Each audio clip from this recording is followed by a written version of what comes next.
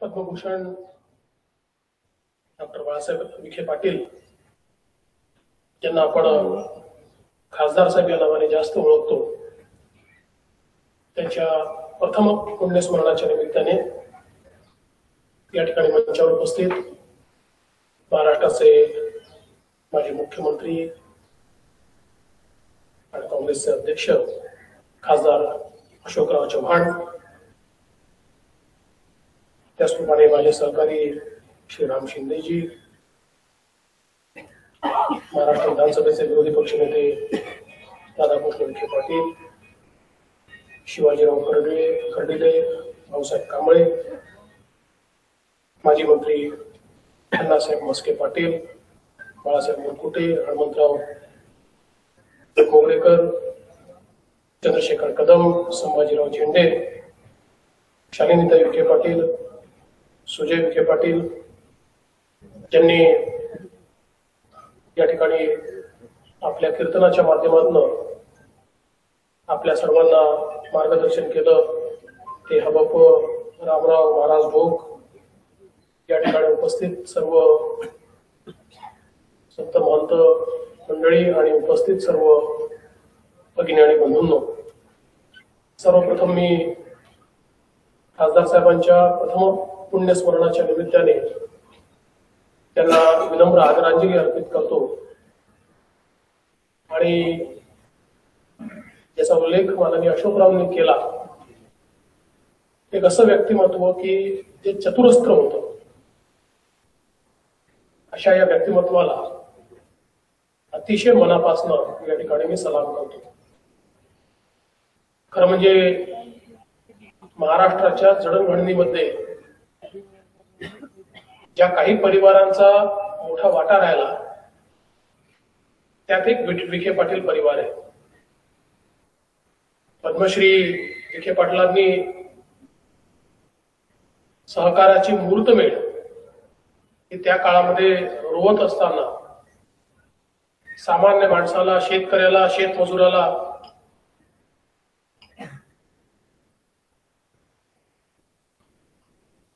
सावकाराच्या पाशातनं दूर करायचं सहकारातनं त्याला उभं करायचं. त्याच्याकरता विविध व्यवस्था उभ्या करायच्या. मग सहकारी साखर कारखाना असेल सोसायट्या असतील याच्या माध्यमातून सहकाराशी सामान्य शेतकऱ्याला जोडून विकासाकडे नेण्याचं एक मोठं काम हे त्या कालावधीमध्ये केलं. आणि तोच वारसा पुढे खासदार साहेबांनी अतिशय समर्थपणे आपल्या सगळ्यांसमोर नेला.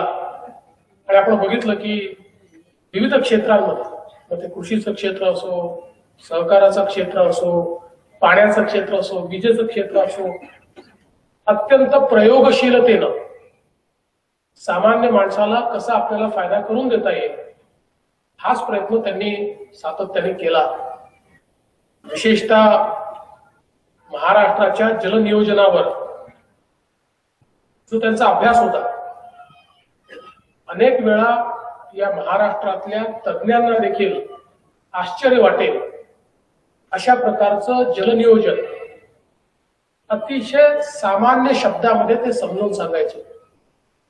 मला आठवतं खूप पूर्वी मी ज्यावेळेस राजकारणामध्ये नवीन असेल अशा कालावधीत एकदा नागपूरला ते एका व्याख्यानाकरता आले होते. आणि त्यावेळेस त्यांचं व्याख्यान हे अराजकीय केवळ जलनियोजनाकरता बरोबर व्याख्यान होतं. आणि मी चुकत नसेल तर नागपूरची राजाराम दीक्षित लायब्ररी आहे त्या लायब्ररीने ठेवलेलं ते त्यांचं व्याख्यान होतं. आणि त्यावेळी अतिशय सोप्या शब्दांमध्ये महाराष्ट्राचे खोरे कुठले त्या खोऱ्यांमध्ये पाणी किती त्याचे उपखोरे कुठले? त्याचं नियोजन कसं केलं तर महाराष्ट्रातल्या प्रत्येक भागाला पाणी मिळू शकतं. तुटीच्या खोऱ्यात कुठनं पाणी आलं पाहिजे? खरं म्हणजे हे इतके क्लिष्ट विषय आहे पण ते स्वतःच असामान्य असून सामान्यासारखे राहायचे. त्यामुळे त्यांचं वागणं बोलणं भाषा ही सगळी इतकी सामान्य होती की प्रत्येक व्यक्तीला हा क्लिष्ट विषय देखील अगदी सोप्या भाषेत त्या ठिकाणी कळला. आणि मुख्यमंत्री झाल्यानंतर एक दिवस त्यांचा संदेश मला राधाकृष्णजींनी दिला की तुमच्यासमोर एक त्यांना जलनियोजनाचं प्रेझेंटेशन करायचं आहे आणि त्यावेळी ती जल परिषद घेऊन ते आले. आणि इतका सखोल अभ्यास. आणि महाराष्ट्रातल्या तुटीच्या खोऱ्यांमध्ये कशा प्रकारे आपण पश्चिमी वाहिन्यांचं पाणी आणू शकतो या संदर्भातलं सखोल चिंतन हे त्यांनी माझ्यापुढे मांडलं. आणि मला असं वाटतं की खूप मोठं मार्गदर्शन त्यातनं आम्हाला देखील प्राप्त झालं. परवाच मी विधानसभेत देखील सांगितलं की जवळजवळ अनेक वर्षापासून म्हणजे दोन हजार पाच साली आपण कायदा तयार केला. पण तो कायदा तयार झाल्यानंतर जलमंडळ तयार करून गोदावरी खोऱ्याचं नियोजन हे नियोजन झालं नव्हतं. ते दोन हजार पंधरा सालापासून सुरू केलं आणि आता पहिल्यांदा राज्यामधलं जे सगळ्यात मोठं गोदावरीचं खोरं आहे त्याचं नियोजन आपण पूर्ण केलं. आणि हे पूर्ण करत असताना त्याला मान्यता देत असताना मी परवा विधानसभेतही सांगितलं की जे मार्गदर्शन स्वर्गीय खासदार साहेबांनी आम्हाला दिलं होतं त्या मार्गदर्शनाच्या अनुरूप सर्व बाबी आम्ही या जल आराखड्यामध्ये टाकल्या. आणि हा गोदावरीचा जल आराखडा पूर्ण करताना त्या सगळ्या बाबींची काळजी आम्ही घेऊन तो आराखडा मंजूर केला. आणि कदाचित देशातलं हे पहिलं आपलं राज्य आहे की ज्याच्यामध्ये इतक्या मोठ्या खोऱ्याचा एकोणतीस उपखोऱ्यासह संपूर्ण जल आराखडा हा राज्य सरकारने मंजूर केला आहे यासोबत त्यांचं त्यातलं दुसरं जे स्वप्न आहे की पश्चिमी वाहिन्यांचं पाणी हे आपल्याला गोदावरीच्या तुटीच्या खोऱ्यामध्ये आणायचं आहे. त्यातनं जे काही आपलं जलसंकट आहे अनेक वेळा उत्तर महाराष्ट्र विरुद्ध मराठवाडा असा संघर्ष होतो दोन दोन जिल्ह्यांचा संघर्ष होतो. आणि एक वाईट चित्र हे जातं. हा संघर्ष होऊ नये याच्यावरचा उपाय आहे की पश्चिम वाहिन्यातलं पाणी हे जर आपण नदीजोड प्रकल्पाच्या माध्यमातून इथे आणू शकलो आणि त्याचं देखील नियोजन मला सांगताना आनंद वाटतो की त्याच्या मार्गदर्शनानंतर आम्ही ते केलं आणि दमणगंगा पिंजाळ प्रकल्पातनं त्या ठिकाणी नदीजोडचा प्रकल्प घ्यायचा आणि त्यातनं पन्नास टीएमसी पाणी हे गोदावरी खोऱ्यामध्ये आणायचं अशा प्रकारचं नियोजन हे आपण केलं. केंद्र सरकारकडे ते पाठवलं. माननीय गडकरी साहेबांनी त्याला तत्वता मान्यता देखील दिली. आणि आता त्याचं देखील पुढे काम आपण करणार आहोत.